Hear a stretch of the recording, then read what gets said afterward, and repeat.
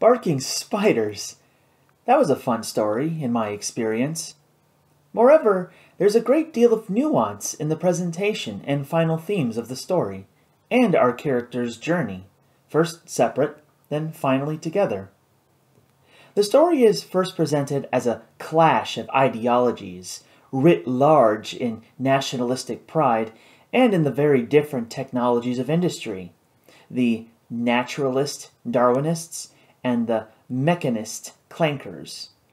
We, the audience, are expected to suspend disbelief so that we can comprehend a world where creatures are designed and engineered just as machinery in our history to fulfill a similar diversity of roles, while vehicles and weapons can be made to mimic the same intricate locomotion and functionality of living creatures.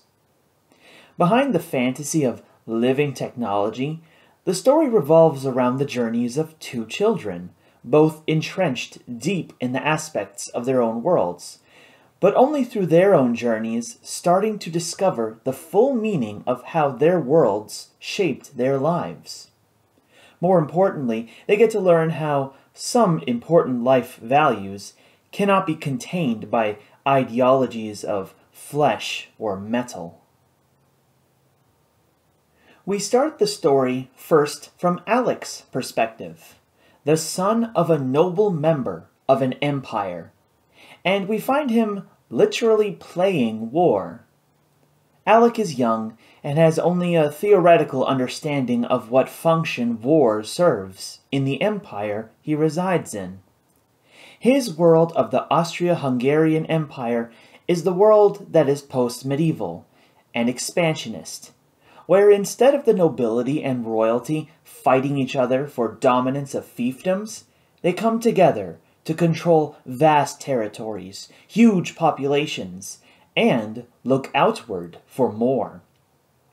In Alec's mind, his position as the son of a noble compels him to study and understand war, such that he, as a noble, may be expected to provide leadership to the Empire's fighting men in war. And the reason the power and burden should fall on him and his noble house and his class is because of the divine right bestowed on his class by the religious leadership of his world, the Holy Roman Papacy. Of course, just like what started the world's descent into World War I in real life, Alec's life is upended by the murder of his parents, and he must flee and go into hiding with just a handful of loyal retainers. Instead of carrying the banners of his noble house and his empire into battle, leading soldiers against the empire's enemies, now Alec must flee the very same empire that's marked him as an enemy. The story presumes the Austria Hungarian Emperor and the allied country Germany wants war for some reason not explicitly stated, and Alec's parents were killed for promoting peace. Alec is hunted because, despite his nobility being incomplete by virtue of his commoner mother, he is still a threat to the Emperor's power. The secret that supposedly makes Alec a threat to the Emperor is the revelation that his father had convinced the Pope, the source of divine right to rule, to make Alec's birth noble, without question, to be revealed only after the current Emperor's death. Presumably, finding the secret means Alec's enemies have reason to fear his survival and want his threat ended lest their own emperor die for the stress of war, and Alec gain new legitimacy and power to end the war. On his journey into hiding, Alec and company move cross country clandestinely, attempt to discreetly resupply without being discovered, and, when discovered, end up killing soldiers of the Empire to survive. For the first time, Alec faces war intimately and not theoretically from a safe place of study or a position of protected leadership. On his journey, Alec is also confronted with the pressure to hide and close himself from strangers for fear of malice. Adding to this is the realization that his upbringing puts him far out of touch of the concerns and sentiments of his own people, the citizens of the empire. In preparation for imperial treachery, Alec's loyal caretakers prepared not only their escape, but also a hideout, well provisioned and defensible, such that Alec may wait out the war started in the name of his murdered parents. So Alec, son of an archduke, orphaned and hunted by an empire, is left with a choice hide himself until the war ends, his enemies subside, and come back out to take his rightful place in the empire, or seek an alternative. Meanwhile, Deryn Sharp is a common citizen of the British Empire who starts the story seeking enlistment into the Royal Air Service such that she may be able to fly the way she used to with her late father.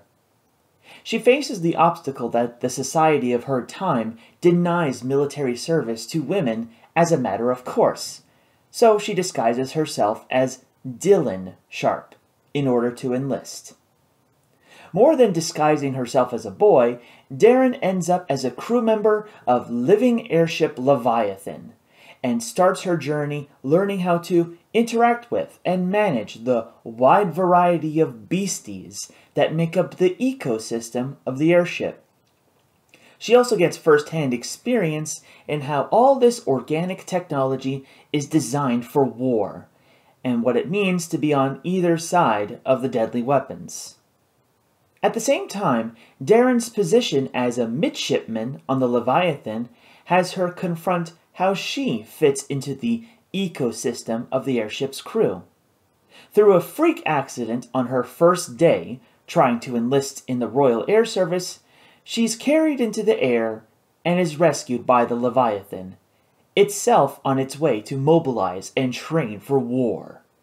In a way similar to how the onboard beasties compete for their allotment, so too Deryn feels part of a competition with the other middies for a more permanent place on Leviathan.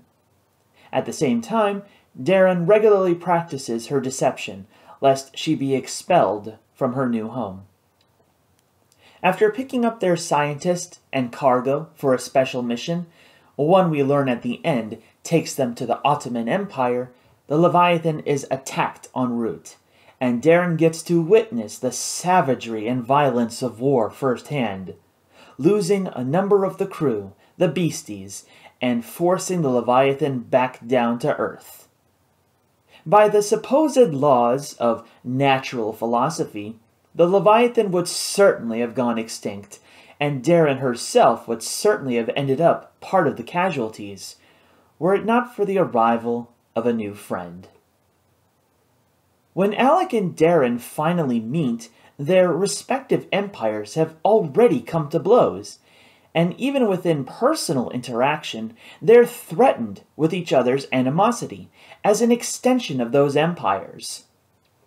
Alec, as a noble of the Austria Hungarian Empire, a successor of the Holy Roman Empire, was taught that the Darwinist powers took their power from godless creatures and thus could not be trusted.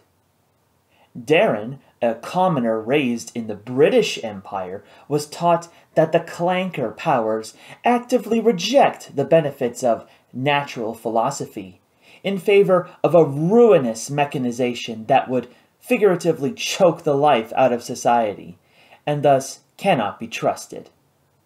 It makes sense that the clanker powers would reject essentially genetically engineered creatures when, either by popular perception or religious edict, they would be labeled godless. Additionally, the religious component of royal and imperial rule would put pressure on figures in power to create and enforce laws to limit and counter the expansion of Darwinist power. Meanwhile, the Darwinist powers would be well within reason to reject mechanization when they themselves already experienced their coal fired and steam driven industrial revolution and then collectively chose to reject it in favor of essentially genetically enhanced livestock. In Great Britain, in particular, the independent religious establishment may very well have decreed the mass mechanization to be an affront to godly nature. Of course, whatever advantages each side claims for themselves, and whatever disadvantages they claim for their rivals, both sides of the argument belie the deeper, more fundamental power structures of the empires themselves. That which demands that their subjects oppose each other and act in favor of that power structure. When Alec and Deryn meet for the first time, it's when Alec approaches the stricken Leviathan to offer medicines and first aid to the crew, despite his fears of the beasties. Yet, when Deryn comes to, her first loyalty is to her airship, crew, and empire, and proceeds to have Alec cornered and taken into custody by the crew, despite his protest. The reasons for doing so were certainly rational. When wrecked on the isolated glacier, they are right to be concerned about who should come by in such a short time. Just a short while before, Alec, seeing the Leviathan come down, is advised against approaching, much less helping the stricken crew, despite his own sense of compassion. His loyal retainers are explicitly opposed to helping, even if the crew were to die on the glacier. They certainly had their own reasons for doing so, hiding from one empire hunting them down, and now avoiding a vessel of another empire that would certainly take them into custody and use them as political leverage if they ever returned to safe harbor. Of course, the very structure of power in an empire is exactly what imperiled Alec and his retainers, and still persists even when in remote, neutral territory. When Alec's loyal retainers sought to spirit him away in the night, the very suspicion that they may be lying about his parents' murders and were kidnapping him nearly led him to come to blows. Any success fighting off his kidnappers would have certainly delivered Alec to his actual enemies. Additionally, after Alec finally realized the truth of his peril, his group moved clandestinely cross country, avoiding detection by being properly disguised as commoners. I would just theorize at this point and figure, depending on the reach of the Empire's agents and the degree of information control to the rest of the nobility and masses, it's likely possible that Alec and company really couldn't afford to be seen even by commoners. It's likely that not only would the Emperor's agents reach out to professional circles, like town mechanists, to look out for a wayward Archduke's son, but also to the owners of food and housing establishments, or the leaders of police or military garrisons, with only the need to satisfy loyalty to the Empire as a necessary price. And with the European war first imminent and then well begun, it would be easy to compel the citizenry to act in patriotism to catch Alec. The alternative is that the power of the nobility and military is so far removed from the citizenry that only by blending in with the commoners could Alec avoid detection. Alas, Alec and company fail and are assaulted by military police, which leads to casualties and the loss of Alec's innocence to war. The plan of Alec's retainers for him to survive the war even depends on the imperial power structure that's right now out to kill him, somehow later being weakened by the war, such that the emperor himself would be out of power, one way or another, leaving an opening for Alec to come out and wield the influence necessary to end the war and reclaim his birthright. There's no way to tell in story what level of support there was in the Empire for peace in Europe, so engaging with the imperial power structure to end the war and reclaim peace still seems like a long shot. It seems just as likely that Alec becomes vulnerable to assassination again, as the pro war faction that sought war in the first place continues the war to protect their power. Meanwhile, as far as the Darwinists are concerned, when the Admiralty and political leadership of Great Britain gets wind of clanker guests on board Leviathan by story's end, their interest in Alec and company is suspect.